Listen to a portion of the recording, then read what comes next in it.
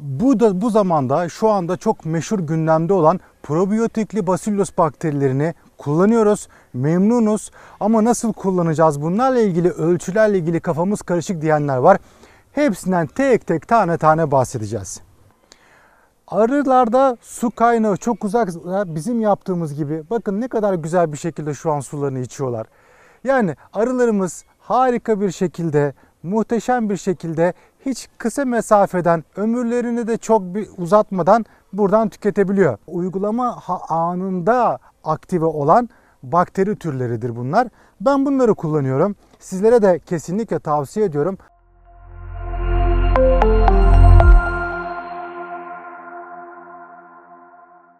Değerli Çiftçi TV izleyenleri, bu hafta yine sizlerden gelen, geçen haftalarda çok bahsettiğimiz probiyotikli Bacillus bakterileri, kovan düzeni nasıl olmalı, çıtalarda düzen nasıl olmalı, şurup verme nasıl olmalı, beraberinde daha birçok sorumuza beraber ortak bir şekilde cevap vermeye gayret göstereceğiz.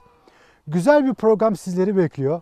Programımızı izlerken de sizlerin yorumlarınıza elimizden geldiği kadar da gayret veriyoruz ki cevap vermek. Aynı zamanda sizlerden gelen sorularda özelden olursa bir sonraki program içeriklerimizde oluşturuyoruz. Sevgili dostlar, sizler YouTube kanalımızdan da bütün videolarımızı takip edebileceğiniz gibi A'dan Z'ye arıcılığı YouTube Çiftçi TV kanalımızdan da takip edebilirsiniz. Çok güzel bir içerikle beraber sizden gelen sorulara hep beraber gidelim. Kıymetli arkadaşlar bu hafta çok güzel bir içerikten bahsedeceğiz sizlere. Bir taşta iki kuş vuracağız. Ne demek o? Arılığımızda su olmalı mı? Arılar için faydalı mı? Bir diğeri de bu da bu zamanda şu anda çok meşhur gündemde olan probiyotikli Bacillus bakterilerini kullanıyoruz. Memnunuz ama nasıl kullanacağız? Bunlarla ilgili ölçülerle ilgili kafamız karışık diyenler var. Hepsinden tek tek tane tane bahsedeceğiz.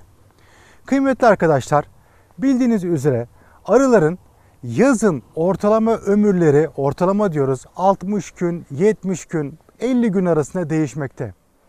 Bunları daha önce bahsetmiştik sizlere. Aslında arıların net bir ömrü yok.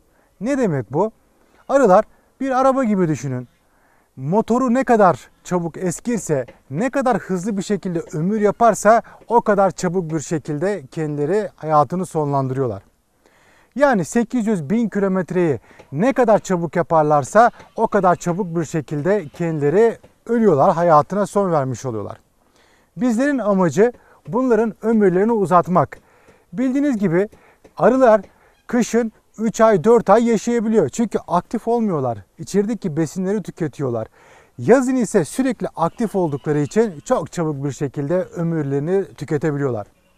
Kıymetli arkadaşlar bu sebepten dolayı eğer arılığınızda su ihtiyacı uzak mesafelerde ise dikkatli dinlemenizi istiyorum. Bir koloni yaklaşık güçlü koloniyi söylüyorum 2 ila 3 litre arası günde su tüketir. Çok ciddi bir ihtiyaçtır.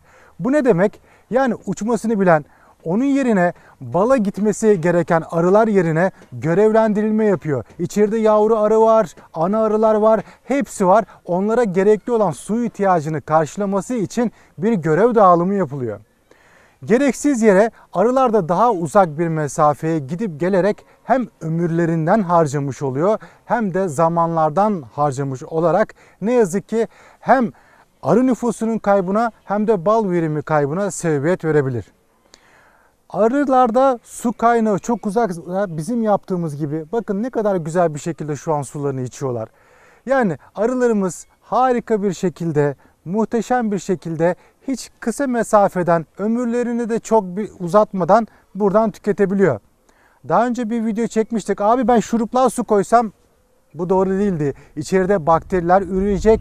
Maalesef zararlı bazı bakterilerle beraber küf, nem, yavru çürüklüğü, nosema ve beraberinde mantar, küfle beraber birçok hastalığa sebebiyet vereceğiz. Asla arılar içeriden su verilmez. Bir kez daha tekrarlayayım. Dışarıdan bir şekilde sularını temin etmek zorundalar. Aslında işleri çok zor. Gidiyorlar geliyorlar. İçerideki yavru arılara da aynı zamanda su taşıyorlar. Kuvvetli arı bir kez daha söylemek istiyorum 2-3 litre günde su içer. Peki su kaynağınız uzakta Ben bu şekilde sistemler var. Hazır yapılan ve satılan. Bunlar ayaklı sistemler. Bunları kullanıyorum. Aynı zamanda size şimdi göstereceğim bunun bir yapılışını. Fakat beraberinde probiyotikli Bacillus bakterilerinden de faydalanıyorum. Ne demek bu?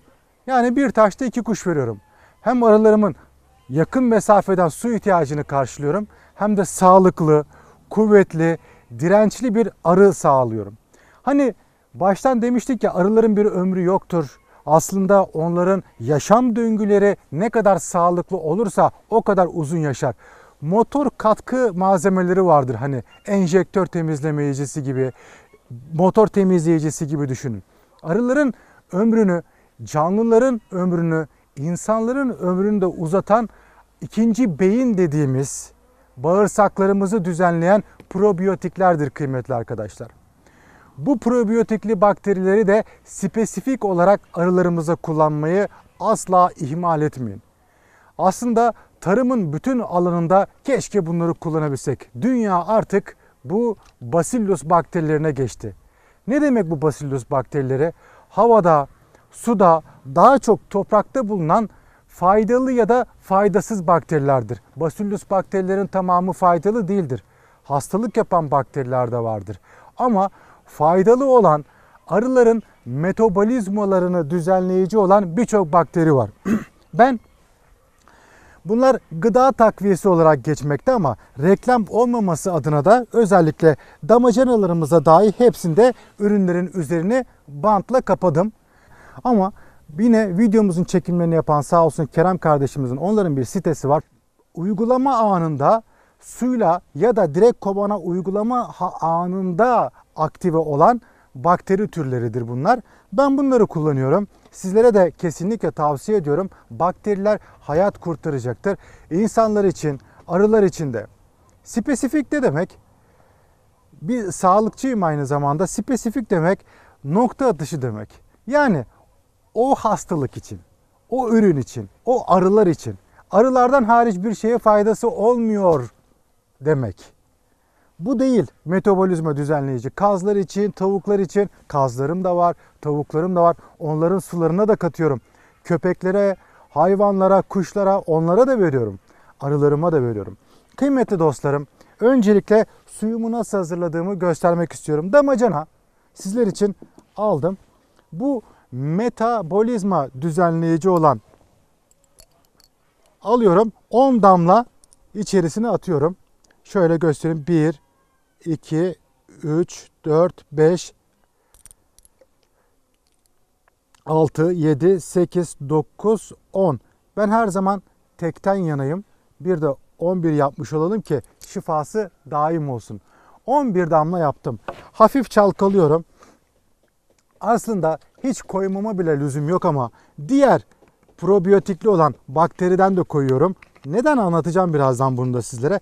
Göz kararı koyuyorum şöyle bir. Evet.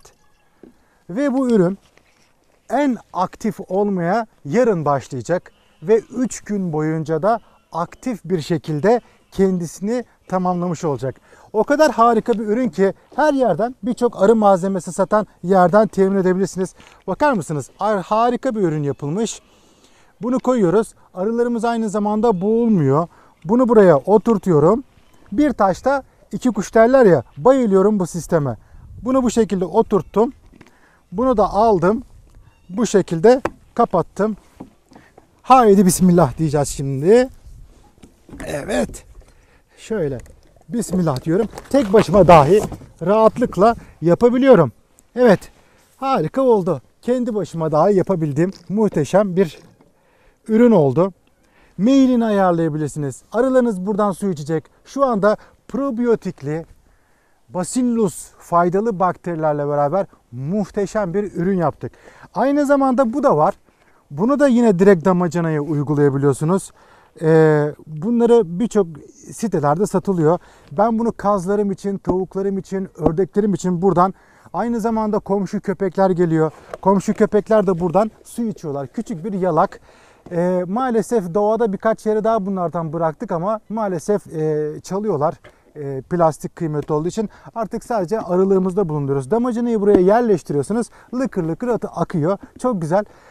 Ve arılarımın vücut yapılarını düzenleyecek. Şimdi gelelim aslında en çok sorulan soruya. Ne demek o en çok sorulan soru? O da şu. Bu ürün hakkında. Kıymetli arkadaşlar, bu ürünü de sizlerle beraber hazırlayalım.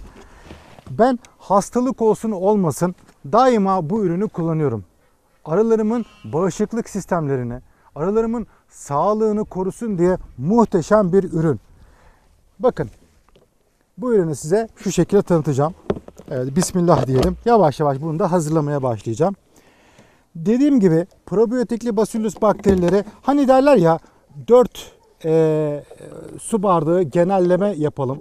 4 su bardağı 1 litreye eşittir diye yani 250 mililitre gibilerinde oluyor diyelim.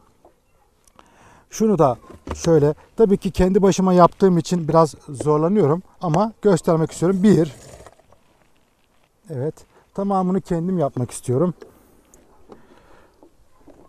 Evet. Evet iki.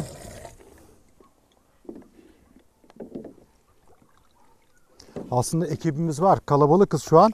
Ama her şeyini ben yapayım istiyorum ki görmenizi istiyorum. 3 ve bu da 4 olsun. Evet. 4. Yani ortalama 1 litre oldu. Kıymetli dostlarım 1 litrenin üzerine ise Bacillus bakterilerinden 1 su bardağı yani yaklaşık 200 250 mililitre olarak ilave ediyoruz. Bir su bardağına ise genelde sitelerde kullanılan tavsiye ölçüsü şu anda bu probiyotikli Bacillus bakterisinde ilave ettim. Haydi bismillah. 200 yani bir bardak ya da şöyle hafif yarıya kadar gelene 30 mililitre kadar kullanabiliyorsunuz ama şuna söylemek istiyorum. İnanın ölçüye çok takılmayın. Bizim imkanımız gereği sağ olsun Cüneyt Bey kendisi yolluyor. Rahat rahat bolca kullanabiliyoruz. Fakat bu üründen de muhakkak koyuyorum. Çünkü bu da farklı bir Bacillus bakterisi grubu. 1, 2, 3, 4, 5. Bundan da 5 damla olarak kullanıyorum. Aslında bu ürünü şerbet yaptığınızda da 1 litre şerbete soğuduktan sonra 5 damla. Ürünün üzerine 1 damla ile 5 damla arası tavsiye diye yazılıyor. Ama ben size 5 damla olarak kullanmanızı muhakkak tavsiye ediyorum. 1 litreye şerbet soğukken 5 damla olarak bereketli de bir ürün. Yani çok uzun zaman rahatlıkla kullanabilirsiniz. Dediğim gibi maalesef reklam olmaması adına üzerini kapatmak zorundayım. Her ne kadar ilaç olmasa da bir besin takviyesi de olsa hassasiyet gösteriyorum bu ürünlere. Çalkalıyorum ve bir gün kalması en uygunu. Ne demiştik? İki ürün var. Birisi aktif trigensis olarak ülkemizde üretilen, bir de inaktif. Bu ürün suyla ya da direkt kovana temas halinde bir temas halinde aktive olan bir ürün. Aslında şu an aktive olmaya başladı. Tavsiyem 1 litreye 1 su bardağı ama arıda bir hastalık varsa bakteri oranını çoğaltabilirsiniz. Abi fiyatı orasını bilemem. O benimle alakalı bir durum değil. Fazla kaçtı. Şöyle oldu, böyle oldu. İnanın ilaç gibi düşünmeyin. Şu an Ramazan ayındayız. İnanın oruçlu olmasam bir yudum sizin için içerdim bile. İçiyorum da çünkü. Aynı zamanda özellikle bu ürünü kendim için bile inanın kullanıyorum. Damacana da evde suyumu atıyorum metabolizma düzenleyicisi olarak. Ee, tabii ki bunu tavsiye değil o kadar güvenilir bir ürün olduğundan bahsediyorum. Ürünü aldık ertesi gün. Bismillah diyelim şöyle bir. Dolduralım. Şu anda arılarınıza dolduruyorum. Kullanıma hazır harika bir ürün. Hani bu cam sil şişelerine koyuyoruz. Rahat püskürsün diye. Beraberinde kıymetli arkadaşlar tabii ki cam sil şişesini iyi temizlemenizi tavsiye ediyorum. Şöyle bir miktar koydum. Gayet de güzel oldu. Arınıza rahatlıkla bakın şöyle kendi üstüme dahi kullanabiliyorum. Ellerime arıya bakmadan kullanabiliyorum. Kıymetli arkadaşlar. Çünkü dezenfektan olması amacıyla kullanabiliyorum. Uygulamasını arılarda nasıl yapıyoruz? Aslında hiç kesmeyelim. Bir damızlık bir kovanım var. e, Kerem kardeşim. Direkt oraya geçelim ki aynı zamanda kesmediğimizi de görsünler. E, zayıf bir koloni, güçlü bir koloni değil. Hemen ona bakalım. Kesmeden. Evet. Bugün hava kapalı. Şöyle. Evet. Hava kapalı bir gün. Kapalı havada açmıyoruz. Ama bunu körük olarak da kullanabilirsiniz. Kıymetli arkadaşlar. Ne demek bu? Evet kekimizin markası üstte. Bakın çıta başına 3 fıs olarak uyguluyorum. 1, 2, 3, 4, 5. 1, 2, 3, 4, 5, 6, 7, 8, 9, 10. 11, 12, 13, 14, 15 bu şekilde devam edebilirsiniz. Hatta bizim arılarımız sağlık durumları gayet güzel. Hastalık durumunda ise arıyı alıyoruz. Direkt üzerine ne kadar rahat ve güvenle. Bu arada bu kovanım çok güvenilir bir kovandır. Yani asla e, riske etmeyeceğim bir kolonidir. Çünkü damızlık bir arı var bunda. O kadar rahatlıkla bu ürünü size e, göstermek istiyorum. Çünkü bakteriler insanların hayatını kurtaracaktır. Şöyle belki kısmetimize ana arıyı da görür müyüz diye baktım ama e, ana arıyı şu an burada göremedim. Bu şekilde direkt uygulama. Ben bilerek bol bol yapıyorum. Sizler çıta başına 3 fıs olarak yapabilirsiniz. Hiç sorun değil. Ben imkanımız gereği ve herhangi bir sorunun olmadığını göstermek amaçlı da bu uygulamayı yapıyorum. Sevgili arkadaşlar, arılar bakterileri seven canlılardır. Bu çıtaya da bakalım. Eğer varsa vardır ana arı, yoksa yoktur. Sağlıklı arı demek, varroasız arı demek. Bakın o kadar sağlıklı, o kadar muhteşem duruyorlar ki. Hepsi birbirinden güzel. Büyük ihtimalle bu damızlık arımız e, diğer çıtalarda. Fazla da onu üzmek istemiyorum. Fazla da bakmak istemiyorum. Çünkü hava şu anda serin. Yavruları da var. Fazla da üşütmek istemiyorum. Abi senin arılar ne kadar sakin ya. Hiçbir şey değil. Arkadaşlar düzenli olarak bakterileri kullanıyorum. Arılar biliyorsunuz 2-3 litre su da içerler. Aynı zamanda otomatik olarak su ihtiyaçlarını da karşılamış oluyorsunuz. Bakın bir şey göstereceğim. Bu arada kovanın her tarafına da sıkabilirsiniz. Çünkü onlar için bir sağlık, onlar için bir dezenfekte olacaktır. Aklım estikçe sağ olsun amcam şu anda eee, bir çalışma yapıyor aşağıda. Ben önlerine dahi bu şekilde sıkıyorum. İçeriye girenler bakterilerle giriş yapsın istiyorum. Kıymetli arkadaşlar, bu videomda hem bu bakterilerden hem de muhteşem bu su sisteminden bahsetmek istedim sizlere. Yani umarım her şeyi güzel bir şekilde anlatabilmişimdir. Aralığınızda bu sistemleri yapmanız, onların tabii ki mehil ayarlarını, güzel diğer ayarları da yapabilirsiniz. Bunlardan bahsetmek istedim. Bakteriler hayatımıza sağlık katacaktır. Bahsettiğim gibi marka veremiyorum ama ne kadar güzel bir şekilde sularını içiyorlar. Keyifle şöyle canlı canlı da görsün e, Kerem arkadaşımız. Rahat da sularını içiyorlar, keyifle, güvenle içiyorlar sularını. Yani onlara temiz, ömürlerinden de güzel bir sağlık sağlamış oluyoruz. Beraberinde onlara huzur sağlamış olduk. Ömürlerine ömür katmış olduk. Daha ne olsun ki? Bakteriler zamanla bütün dünyada toprakta her şeyde kullanılacak. İnsanlar için şu an zaten televizyonlarda birçok hastalıkların sebebi bağırsaklar ve onların çözümlerini bağışıklık sistemimizle sağlıyoruz. Bakteriler de onlardan biri. Yani her zaman onlarla beraber olmalıyız. Arılara bakarken ellerime de sıkıyorum. Her zaman onlarla mücadele yapıyoruz. Bunu size anlatıyorum ama uygulamalı bir video istiyoruz abi. Nasıl olur, nasıl eder? Ölçüye çok takılmayın.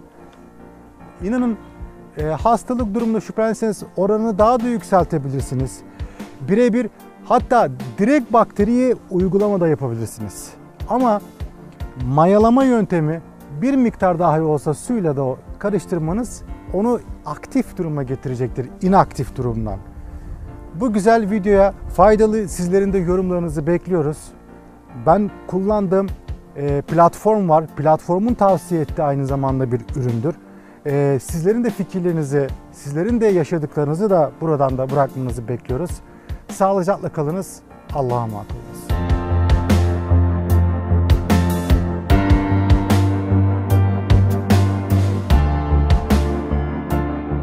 Evet arkadaşlar, çok sorulan sorulardan bir tanesi. Biliyorsunuz sorularımız çok olduğu zaman bunlara her zaman uygulamalı olarak videolar çekiyoruz.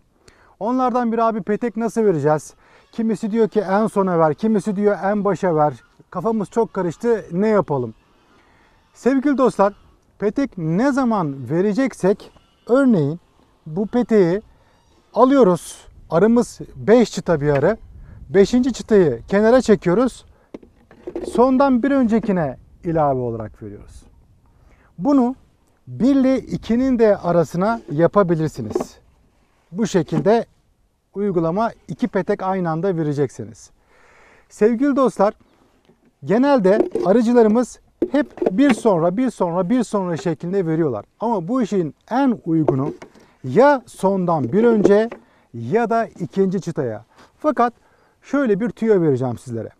Vereceğimiz petek temel petekse ve bahar ayında isek, ilk bahar ayında isek ikinci çıtaya vermeniz her zaman daha faydalı olacaktır. Çünkü baharda arılar tecrübeli arıcılarımız bilecektir. Sarı peteği daha çok severler ve oraya daha çok yavru atarlar. Birinci petek her zaman blok petektir. Yani ballı ve polenli petektir. İkinci petek ise kıymetli arkadaşlar hep yavrulama şeklinde devam ederler. Hatta arıcıların klasik bir lafı vardır. Hiç ana arıya bakma direkt ikinci çıtadadır diye bir tabir kullanılır. Tabii ki bu her zaman o şekilde olmasa da genelde ana arı ikinci çıtada olmaya durur ve oralarda yumurta arar. Sevgili dostlar iki petek aynı anda vereceksek dediğim gibi bir ve sondan bir öncesine vereceğiz. Arımız diyelim ki 8 çıta şu şekilde yaptık. 8 çıta. Burası eğer 7 çıtaya kadar arıyı straforda koyduktan sonra içten sarmanızı tavsiye ediyorum. Ama arınız 8 çıtaysa elinizde temel petek varsa yani kabartılmış değil de temel petekse 9 ve 10 olarak koyabilirsiniz. Arılara petek lazım oldukça verilir. Kuralı temel petek için geçerli değildir. Çünkü kabartılmış petekte arı oynar, gezer, dağılır. Ama temel petekte arı işleye işleye gideceği için ve zaten 8 çıta olmuş. 2 çıtalık yeri sarmaya da lüzum yok. Temel peteğiniz varsa koyun. Olur ya mesela şu an biz Ramazan ayındayız. Birer çıta, ikişer çıta fazla çalışıyoruz. Yani her zaman gelemediğimizden kaynaklı videolarda çekimler yaptığımızdan dolayı ben her zaman arı sıkışıp oğula da gitmemesi için bir petek fazla çalışıyorum. Benim için en uygunu oluyor. İş sonbahara gelirse bakın ilkbaharda yava sarı, sarı petekleri ikinci çıtaya koyuyorduk. Sonbaharda ise ne kadar esmer peteğimiz varsa mesela bakın bu bozuk bir petek ve polenli bir petek esmer petek yavaş yavaş sonbaharda petek vermemiz gerekiyorsa onu da ikinci çıtaya yavaş yavaş koymamız gerekiyor. Bunun sebebi de kıymetli dostlar sonbaharda arı kış için hazırlık yapmaya başlar. Size bir ipucu vermek istiyorum. Arı esmer petekte daha güzel kışlar. Esmer petekle kışlama oranı yüzdesi sarı petekle kışlama oranı yüzdesine göre çok fazladır. Yani sonbaharda ise yavaş yavaş petek vermemiz gerektikçe hep ikinci çıtaya, ikinci çıtaya vere vere vere vere sarı petekleri yavaş yavaş bu tarafa doğru almış olacağız. Zaten siz de dikkat edeceksiniz. Baharda sarı peteğe yumurtlamak isteyecek, sonbaharda ise esmer peteğe yumurtlamak istiyor arı. Bunu zamanla tecrübe halinde arıcılarımız zaten biliyor. Bunu bu dengelemek amaçlı bu şekilde yapabilirsiniz. Genellemeyi toparlamak istiyorum. Kafa çok karışsın olsun istemiyorum. Petek ben ona buna bakmam abi. Ne zaman vermek istiyorsanız çekin son peteği. sondan bir öncekine kadar ilave edin. Ama aynı anda vermek istiyorsanız da ikinci peteğe de ilave, ilave edebilirsiniz. Bu verme yöntemi üst kat için de aynı şekilde geçerli kıymetli arkadaşlar. Üst kata onunu birden vermek pek uygun değil. Lazım oldukça vermek daha uygun. Yine aynı bir öncekine bir öncekine sırayla. Petek nasıl verelim diye bir soruyu da bundan bahsetmek istedim. Yine diğer sorularımıza da geçeceğiz. Sizlerin yine faydalı yorumları ben de bu şekilde yapıyorum. Bunları tavsiye ediyorum. Ben de bunlardan yana tavır alıyorum. Böyle olsun istiyorum. Ya da ne yapmak lazım geliyor diye sorularınız, faydalı yorumlarınız, mesajlarınız varsa bırakabilirsiniz. Saygılar, Allah'a emanet olunuz. Kıymetli arkadaşlar, şurup nasıl verilir, ne zaman verilir bunları anlattık ama uygulamalı olarak da 4 çeşit şurup verme yöntemi var. Sizlerin de daha şimdiden söyleyeyim. Ben de bu şekilde yapıyorum, bu şekilde uyguluyorum, memnunum dediniz, yorumlarınız varsa videonun altına mesaj olarak bırakabilirsiniz. Arılara balıkım dönemi haricinde, balıkım döneminden de bir aya kadar geriye gidip şurup kesme imkanı olursa bala asla karışmayacağını şerbet bala karışır mı diye bir videomuz vardı. Kıymetli dostlar şurubun ölçüsü şu bu bunlara girmeyeceğim. Bunlar ayrı. Fakat ben zaten Trakya'da maalesef ayçiçek balımız çok değerli bir bal olmasına rağmen ne yazık ki teneke fiyatı çok ucuz. Bizler şurubumuzu ballı suyla yapıyoruz. Nasıl şurup verilir? Nerelerde olmalı şurupluk? Onlardan sizlere bahsetmek istiyorum. Kıymetli dostlar şöyle göstermek istiyorum. Kovanın arkasındayım. Birinci çıtaya koyacaksak 6 yarım yarım şurupluk koyabilirsiniz.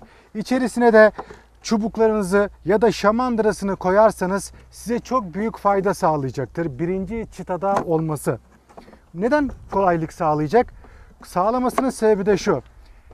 Arınıza kışın şurup vermek ihtiyacı doğduğunda kıymetli dostlar arınıza hemen sadece çuvalı buradan kaldırıp yavaşça buraya dökebilirsiniz. Hemen birinci çıtaya. Hemen ucundan kaldırarak. Zaten arı zamanla bunun altına dalak örecek. Genelde de erkek arı örecek ve buna bal yapacak. Bu birinci çıta blok çıta olarak kalsın. Hiçbir zaman bunu buradan ellemeyin. Bunu unutun. Yani birinci çıta her zaman blok çıta olarak kalsın. Bu birinci verme yöntemi. İkinci verme yöntemi ben bu şekilde yapmak istemiyorum diyenler için de bu şekilde şurupluklar mevcut. Bunlar bölme tahtası yerine de geçiyor. Biliyorsunuz bizler arıyı her zaman sarın diyoruz. Aşağıya kadar geliyor. Bunu da son çıtaya koyabilirsiniz. İçten bu şekilde sararsınız. Abi bunu peki ben başa alayım mı? Onun bir manası kalmayacaktır. Buradaki amaç altına petek ördürüp bal stoğu yaptırıp kışın salkımı burada oluşturması ve burada kışlamasını sağlamak. Ama bölme tahtası olarak da kullanmak istiyorum derseniz de son peteği dibine koyup bu şekilde strafor yerine bu şurupluğu kullanıp çuvalla bu şekilde sarabilirsiniz. Sevgili dostlar bildiğiniz gibi bir diğer verme yöntemi ise turbo şurupluklar. Yani üstten buradan açıp döküp arının da buradan içmesi. Hatta bizler baktık ama çok önceden kullanmıştık. Eski püskü bir bulduk şöyle bir tahtamızı. Bunları da bu şekilde koyup önceden hem bir izolasyon yapıyorduk malzemelerimizden göstermek amaçlı. Buradan da şurupluklarını içiyordum. Buna turbo yöntemiyle şurup verme deniyor. Benim ise en sevdiğim yöntem ve en çok kullandığım yöntemlerden biri yine sevgili Seyitan kardeşim e, diğer kamerada sağ olsun. Senden de yardım alacağım şöyle bir. Nasılsın iyi misin burada? İyidir abi çok şükür. Sen nasılsın? Seyitan teşekkür ederim. Burada ekibimizden biri de Seyitan sağ olsun. Kerem, Barış, Hüsnü, Okan onlardan biri Seyitan. Onlar görünmeyen kahramanlardan senden yardım isteyeceğim. Örneğin ballı suyumuzu yaptık. Ee, Daha doğrusu şerbet de diyebilirsiniz. Ee, Sizler şekerle de yapabilirsiniz. Döküyoruz. Bunu şurup olarak düşünün. Burada bunu da marka olmasın diye göstermiyorum. Biliyorsunuz probiyotikli metabolizma dengeleyici. Bunları sevgili dostlar aramızda şurup yaptığımızda da litre başına damla olarak 1 ila 5 damla arasında koyabil- koyabilirsiniz. Su olduğu için ziyan etmek istemiyorum. 5 damla da bundan attığımızı düşünün. Bunu alıyoruz Seyitan. Havasını aldık bu şekilde. Buradaki püf nokta Seyitan havasını almak. Evet. Havasını aldık. Böyle bunu en uçtan kapamaya çalışmak. Tamam mı? Bu şekilde yapacağız. Sonra bunu yayvan bir şekilde bu şekilde olduğu gibi üzerine bırakacağız. Şeker poşeti değil. Buzdolabı poşeti olmak zorunda. Arılar o kadar mikro bir şekilde bunu deliyorlar ve içiyorlar ki 2 gün 3 gün içerisinde bitiriyorlar. Bu da bir verme yöntemi aynı zamanda. Bir diğer yöntem de yandan delik açıp yine aynı bu turbonun yandan olan versiyonları var. O da bir verme yöntemi. Oldu 5. Bir diğer yöntem daha var Seyitan. O da meydan sofrası diye eski arıcıların tabir ettiği bir besleme. Evet. Yani ortaya bir çukur açılır ya da leğen açılır. Şurup ortaya dökülür. Artık bütün arılar gelir. Tabii ki bunun riskleri var. Dışarıdan yağma arılar da gelir. Bizim arılarla dans videomuz vardı. Orada yaptığımız gibi dışarıdan besleme. Faydaları da var ama zararları da var. Bu sebepten dolayı bu da diğer bir şurup verme yöntemlerinden biri olarak söyleyebiliriz. Ama bizim en çok buzdolabı poşeti ile şurup verme yöntemi sevdiğimiz bir yöntem.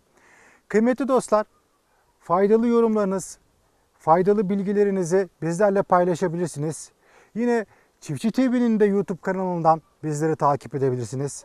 Soner Güner YouTube kanalımız, bizim kendi YouTube kanalımız, Facebook. Bazı ürünlerle alakadar sormak istedikleriniz varsa tokurcun.com siteden de temin edebilirsiniz. Bu kardeşlerimiz sağ olsunlar benim video çekimlerimi yapıyor. Ben onlara maalesef bunun karşılığını veremiyorum. Ancak bu şekilde destek olmaya çalışıyorum. Onlar sağ olsunlar benim tavsiye etmiş olduğum ürünleri sizlere ulaştırıyorlar. Teşekkür ederim bu arada. Çok büyük gayretler veriyorsunuz. Evet. Eksik olma Seyitan. Seni seviyorum. Ben de seni abi çok seviyorum. Hep beraber olalım inşallah. İnşallah abi. Sağlıcakla kalınız. Güzel bir program oldu. Sizlerle beraber bilgiler paylaştıkça güzeldir sizlerin de dediği gibi. Bizler elimizden geldiği kadar bildiklerimizi sizlere anlatmaya gayret gösteriyoruz. Programımızın başında da dediğimiz gibi YouTube Soner Günler kanalımızdan bizleri takip edebilirsiniz. Yine Çiftçi TV YouTube kanalından videolarımızı takip edebilirsiniz. Özelden sorularınıza Instagram'dan, Facebook'tan elimizden geldiği kadar cevap vermeye gayret gösteriyoruz. Yine faydalı ürünler tokurcun.com oradan da bizlere ulaşabilirsiniz kıymetli arkadaşlar. Sizleri çok seviyoruz. İnşallah önümüzdeki haftalarda tekrardan görüşürüz. Şimdilik bütün Çiftçi TV ailesine saygılar, sevgiler, sağlıcakla kalın.